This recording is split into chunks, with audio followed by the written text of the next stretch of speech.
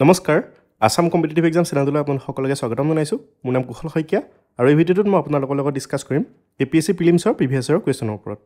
এই চিৰিজটো এইটো এঘাৰ নম্বৰটো পাৰ্ট যদি আগৰ পাৰ্টকেইটা চোৱা নাই চাই ল'ব।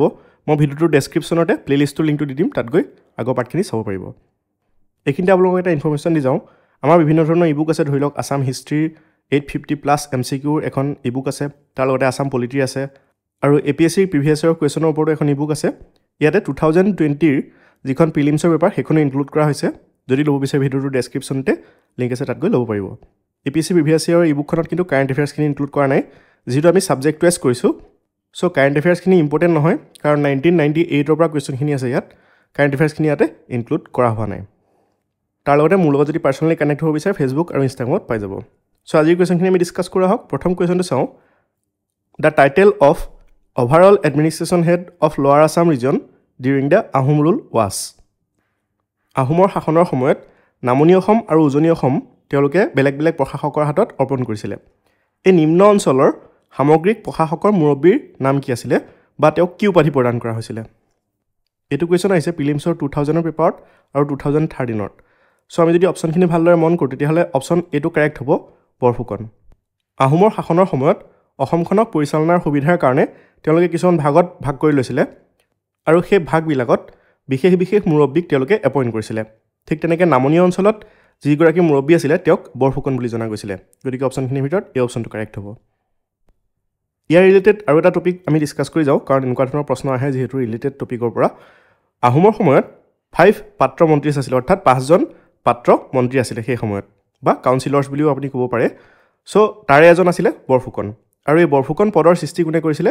প্ৰতাপ সিংহ। মনত ৰাখিব যে আহোম স্বৰ্গদেউ প্ৰতাপ সিংহই এই বৰফুকন পদটোৰ সৃষ্টি কৰিছিলে নামনি অঞ্চলৰ প্ৰশাসনৰ সুবিধাৰ কাৰণে। ঠিক আছে নেক্সট ইয়াৰ পিছৰ প্ৰশ্ন চাওঁ।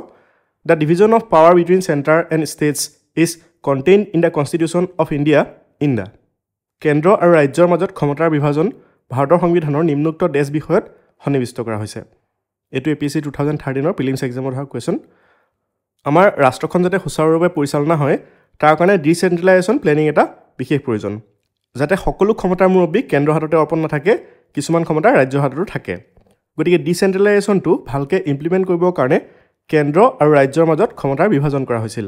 আৰু এই বিষয়ে উল্লেখ আছে seven schedule of the Indian constitution গতিকে অপশ্যনখিনিৰ ভিতৰত চি অপশ্যনটো কাৰেক্ট হ'ব যে আমাৰ সংবিধানৰ সপ্তম অনুসূচীত এই বিষয়ে উল্লেখ আছে। আৰু এনেকুৱা ধৰণৰ প্ৰশ্ন সুধিব পাৰে যে বৰ্তমান সময়ত আমাৰ ভাৰতৰ সংবিধানত কিমানটা চিডুল আছে? বাৰটা আছে। বাৰটা অনুসূচী আছে মনত ৰাখিব। নেক্সট ইয়াৰ পিছৰ প্ৰশ্ন চাওঁ। The three list union list state list and concurrent list are mention in which of the following তিনিখন তালিকা ইউনিয়ন লিষ্ট ষ্টেট লিষ্ট আৰু কনকাৰেণ্ট লিষ্ট তলৰ কোনটো তালিকাত উল্লেখ কৰা হৈছে? টু থাউজেণ্ড ছেভেণ্টিনৰ এ পি চি প্ৰিলিমছ এক্সামত আহিছে এইটো। চ' আগৰ যিটো কুৱেশ্যন আছিলে আমি তাত ডিছকাছ কৰিছিলোঁ যে ৰাজ্য আৰু কেন্দ্ৰৰ মাজত ক্ষমতাৰ বিভাজন কোনটো চিডুলত আছিলে? ছেভেন চিডুল সেই ছেভেন চিডুলতেই এই কনচেপ্টটো আছে যে ইউনিয়ন লিষ্ট ষ্টেট লিষ্ট আৰু কনকাৰেণ্ট লিষ্ট এই তিনিখন তালিকা কোনটো অনুসূচীত উল্লেখ আছে মনত ৰাখিব? ছেভেন চিডুল অৰ্থাৎ সপ্তম অনুসূচীত। গতিকে অপশ্যনখিনিৰ ভিতৰত চি অপশ্যনটো কাৰেক্ট হ'ব। এইখিনি আপোনালোকে অকণমান মনত ৰাখিব লাগিব কাৰণ বুজাৰ লগতে এইখিনি মনত ৰাখিলেহে আপোনালোকে কুৱেশ্যনখিনি কৰিব পাৰিব। গতিকে মনত ৰাখিব ইউনিয়ন লিষ্ট ষ্টেট লিষ্ট আৰু কনকাৰেণ্ট লিষ্ট কোনটো চিডুলত আছে? সপ্তম অনুসূচীত বা ছেভেন চিডুলত আছে। তাৰ লগতে কেন্দ্ৰ আৰু ৰাজ্যৰ মাজত ক্ষমতাৰ বিভাজন কোনটো চিডুলত আছে? Seven schedule. ঠিক আছে নেক্সট ইয়াৰ পিছৰ প্ৰশ্ন চাওঁ। Tropical cyclone of Philippines is termed as এইটো এ পি চি ছেভেণ্টিনৰ প্ৰিলিমছ এক্সামত অহা কুৱেশ্যন ইণ্টাৰনেশ্যনেল ৰিলেটেড টপিকসমূহ আহে। বিশেষকৈ কোনোবা এটা এক্সাম দিয়াৰ আগতে প্ৰিভিয়াছৰ কুৱেশ্যনখিনি চোৱাটো ইম্পৰ্টেণ্ট হয়। কিহৰ কাৰণেনো? কাৰণ তেতিয়া পেটাৰ্ণটো গম পোৱা যায় যে কোন কোন টপিকৰ পৰা বা কেনেকুৱা কেনেকুৱা টপিকৰ পৰা কুৱেশ্যনসমূহ কাটে। গতিকে এনেকুৱা ধৰণৰ টপিকবিলাক আমি যেতিয়া প্ৰিলিমছৰ কাৰণে প্ৰিপেৰেশ্যন কৰিম তেতিয়া যাতে স্কিপ নকৰোঁ তাৰ কাৰণে প্ৰিভিয়াছ ইয়েৰৰ কুৱেশ্যনখিনি চোৱাটো ইম্পৰ্টেণ্ট হয়। ফিলিপাইনছৰ ক্ৰান্তীয় ঘূৰ্ণী বতাহক কি বুলি জনা যায়? অপশ্যন যিখিনি দিয়া আছে তাৰ ভিতৰত বি অপশ্যনটো কাৰেক্ট হ'ব বা গুয় প্ৰনাউnciয়েশ্যন হয়তো অলপ বেলেগ হ'ব পাৰে গতিকে মনত ৰাখিব বি অপশ্যনটো কাৰেক্ট হ'ব। বাক্য বুলিও কেতিয়াবা দিব পাৰে অপশ্যনত গতিকে tropical cyclone of Philippines is termed as Baguio. ঠিক আছে নেক্সট ইয়াৰ পিছৰ প্ৰশ্ন চাওঁ। Who is known as the father of local self government in India ভাৰতত কাক স্থানীয় স্বশাসনৰ পিতৃ বুলি জনা যায় বা স্বায়ত্ত শাসনৰ পিতৃ বুলি জনা যায়? লোকেল ছেল্ফ গভৰ্ণমেণ্ট ইয়াৰ লগত জড়িত বিশেষ ব্যক্তিজন হৈছে লৰ্ড ৰিপন গতিকে বি অপশ্যনটো কাৰেক্ট হ'ব। এইটো A P S C two thousand ফৰ্টিনৰ ফিলিমছ এক্সামত অহা কুৱেশ্যন। অকল এই কুৱেশ্যনটো এ পি এছ চিতে বুলি কথা নাই অন্যান্য বিভিন্ন ধৰণৰ কুৱেশ্যনত বহুতবাৰ এইটো ৰিপিট হৈছে। গতিকে মনত ৰাখিব যে the father of local self government in India কোন হ'ব? Lord Ripon. অপশ্যন বিটো কাৰেক্ট হ'ব। নেক্সট ইয়াৰ পিছৰ প্ৰশ্ন চাওঁ। In India inflation is measured on the basis of ভাৰতত মুদ্ৰাস্ফীতি কিহৰ জৰিয়তে নিৰ্ণয় কৰা হয়? এই কুৱেশ্যনটো আমি ডিছকাছ কৰাৰ আগতে জানি ল'ব লাগিব যে ইনফ্লেশ্যননো কি হয়। ইনফ্লেশ্যন হৈছে এটা টাৰ্ম যিটো কিহৰ কাৰণে ইউজ কৰা হয় যেতিয়া ইকনমি এখনত কমডিটিবিলাকৰ বা বস্তুবিলাকৰ প্ৰাইচটো ইনক্ৰিজ হৈ যাব and at the same time value of money decreasing সেইটোক কি বুলি কোৱা হয় বা সেইটোক কি টাৰ্মেৰে ৰিপ্ৰেজেণ্ট কৰা হয় ইনফ্লেশ্যন বা অসমীয়া যদি কওঁ মুদ্ৰাস্ফীতি। বৰ্তমান সময়ত আপোনালোকে দেখিছে বিশেষকৈ আগতে যদিও এইটো নটিচেবল হোৱা নাছিলে ক'ভিডৰ পাছত বস্তুবিলাকৰ দাম ৰেপিডলি ইনক্ৰিজ হৈছে। আৰু একে সময়তে মুদ্ৰাৰ যিটো মূল্য আছে সেই মূল্যটো লাহে লাহে কমি আহিছে। আমি যদি ককা আইতাৰ কথা শুনো তেওঁলোকেও বিভিন্ন সময়ত কয় যে আগতে এটকাতেই এমোন ধান পোৱা গৈছিলে বা এটকাতে বহুত বস্তু বজাৰ কৰি আনিব পৰা গৈছিলে। কিন্তু বৰ্তমান সময়ত এটকাটো বাদেই দহ টকা পঞ্চাছ টকাৰো ভেলু লাহে লাহে কমি আহিছে। আৰু এইটোক কোৱা হয় ইনফ্লেশ্যন যেতিয়া কমডিটিবিলাকৰ প্ৰাইচটো ইনক্ৰিজ হৈ যাব প্ৰাইচ অফ দ্য কমডিটি কি হ'ব? ইনক্ৰিজ হ'ব। At the same time value of money মুদ্ৰাৰ মূল্যটো কি হৈ যাব? কমি যাব তাক কোৱা হয় ইনফ্লেশ্যন আৰু আমাৰ ভাৰতবৰ্ষত এই ইনফ্লেশ্যনৰ যিটো ৰেট অৰ্থাৎ কি ৰেটত ইনফ্লেশ্যন হৈ আছে বা প্ৰতি বছৰে কি ৰেটতনো বস্তুবিলাকৰ দাম বাঢ়ি আছে সেইটো জুখিবৰ কাৰণে কনজিউমাৰ প্ৰাইচ ইণ্ডেক্স ব্যৱহাৰ কৰা হয়। এইটো এটা ইণ্ডেক্স হয় অৰ্থাৎ এইটো এটা সূচক হয়। ইয়াৰ যিটো প্ৰাইচ ইণ্ডেক্স আছে অৰ্থাৎ বস্তুৰ দামৰ লগত দাম কম্পেয়াৰ কৰা হয়। এটা বেছ ইয়েৰ বুলি ধৰি ল'ব ধৰি লওক ইয়াৰ আগৰ বছৰটো টু থাউজেণ্ড টুৱেণ্টি ওৱান এই বছৰটোৰ লগত টু থাউজেণ্ড টুৱেণ্টি টুৰ প্ৰাইচ কম্পেয়াৰ কৰা হ'ব তাক কোৱা হয় প্ৰাইচ ইণ্ডেক্স আৰু কনজিউমাৰ প্ৰাইচ ইণ্ডেক্স ইউজ কৰি পেলাই আমাৰ ভাৰতত মুদ্ৰাস্ফীতিৰ ৰেটটো মিজাৰ কৰা হয়। এইটো A P S C two thousand থাৰ্টিনৰ prelims এক্সামত অহা কুৱেশ্যন গতিকে এনেকুৱা ধৰণৰ কুৱেশ্যন আহে। ঠিক আছে? কনজিউমাৰ প্ৰাইচ ইণ্ডেক্স মনত ৰাখিব।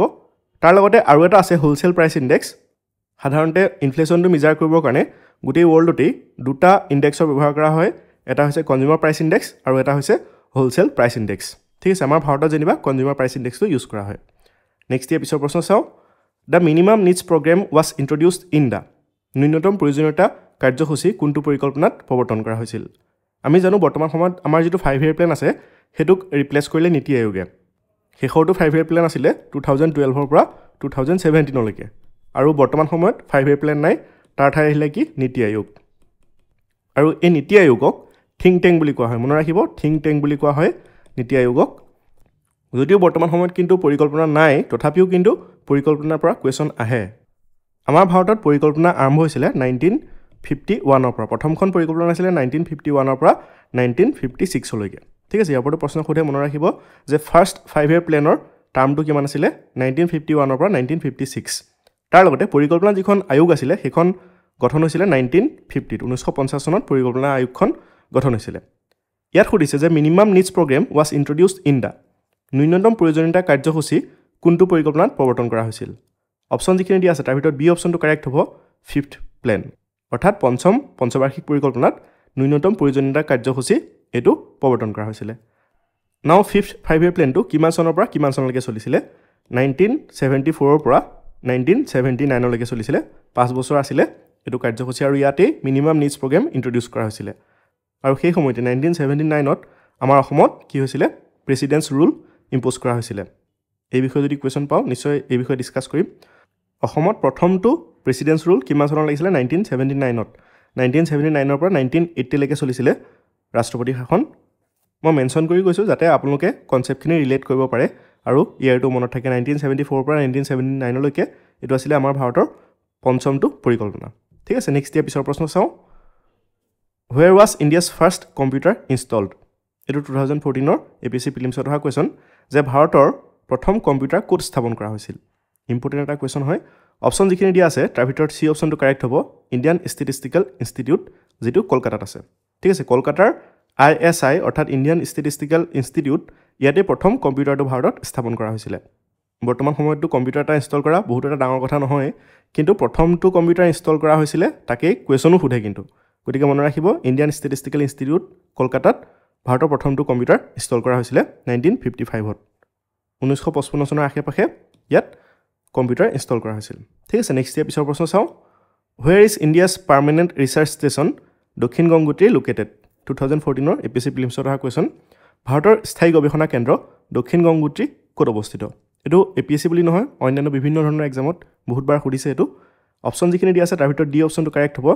এণ্টাৰ্কটিকা যে আমাৰ দক্ষিণ গংগোত্ৰীৰ যিটো পাৰ্মানেণ্ট ৰিচাৰ্চ ষ্টেচন আছে। ইয়াত পাৰ্মানেণ্ট বুলি শব্দটো আছে যে India's permanent research station Dakshin Gangotri ক'ত অৱস্থিত? অপশ্যন ডিটো কাৰেক্ট হ'ব এণ্টাৰ্কটিকা আৰু এই দক্ষিণ গংগোত্ৰীৰ যিটো ষ্টেচন হয় এইটো first scientific base station of India ইয়াৰ ওপৰতো প্ৰশ্ন সুধিব পাৰে যিটো আছে এণ্টাৰ্কটিকাত নেক্সট ইয়াৰ পিছৰ প্ৰশ্ন চাওঁ। What is the group of organisms which converts lights into food cells পোহৰক খাদ্যলৈ ৰূপান্তৰিত কৰা জীৱৰ গোটটোক কি বুলি কোৱা হয়? টু থাউজেণ্ড এইটিনৰ পি চি ফিলিমছত অহা কুৱেশ্যন এনেকুৱা ধৰণৰ প্ৰশ্ন কিন্তু আহে। দেখাত একেবাৰে ইজি যেন লাগিলেও পৰীক্ষাত কিন্তু গৈ কনফিউজন ক্ৰিয়েট হয়। আমি যদি অপশ্যনখিনি চাওঁ তেতিয়াহ'লে অপশ্যন এটো কাৰেক্ট হ'ব অট'ট্ৰপছ যিবিলাক জীৱই পোহৰক খাদ্যলৈ অৰ্থাৎ সূৰ্যৰ পোহৰক খাদ্যলৈ ৰূপান্তৰিত কৰিব পাৰে সেইবিলাকক কোৱা হয় বা সেই জীৱৰ গোটটোক কোৱা হয় অট'ট্ৰপছ ঠিক আছে অপশ্যন এইটো কাৰেক্ট হ'ব। নেক্সট ইয়াৰ পিছৰ প্ৰশ্ন চাওঁ। ভাৰ্মি কম্পষ্টিং ইজ ডান বাই কোনটো জীৱই ভাৰ্মি কম্পষ্টিং কৰে। Two thousand এইটিনৰ A P S C prelims এক্সামত আহিছে এইটো। অপশ্যন যিখিনি দিয়া আছে তাৰ ভিতৰত চি অপশ্যনটো কাৰেক্ট হ'ব ভমছ অৰ্থাৎ কেঁচুজাতীয় যিবিলাক জীৱ আছে তেওঁলোকে কি কৰে? ভাৰ্মি কম্পষ্টিং কৰে। চ' আমি জানিব লাগিব এতিয়া ভাৰ্মি কম্প'ষ্ট কি হয়নো। ইয়াৰ ওপৰত যদি আমি অকণমান চাওঁ তেতিয়াহ'লে vermicompost is the product of the decomposition process using various species of earthworms কেঁচুৰ নিচিনা যিবিলাক জীৱ আছে তেওঁলোকে ডিকম্পজিশ্যন কৰাৰ এটা প্ৰচেছ হৈছে ভাৰ্মি কম্প'ষ্ট আমি যিবিলাক ৰাহি থকা খাদ্য আমি পেলাই দিওঁ বা যিবিলাক আমাৰ ৱেষ্ট থাকে বা যিবিলাক শাক পাচলি আমি পেলাই দিওঁ সেইবিলাকক ভাৰ্মি কম্প'ষ্ট কোনে কৰে? কেঁচুজাতীয় কিছুমান জীৱই কৰে।